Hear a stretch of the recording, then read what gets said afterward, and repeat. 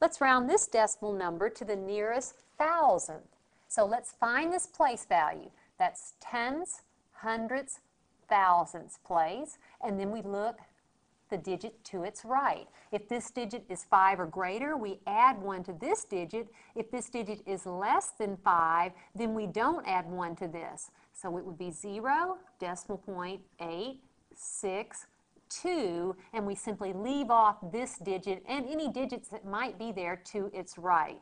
So to the nearest thousands, we have 862 thousandths.